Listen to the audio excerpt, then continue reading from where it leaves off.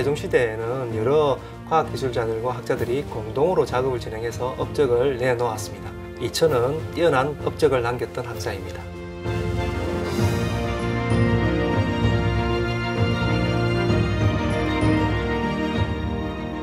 이천 문화강국 조선의 르네상스를 이끈 숨은 주역입니다.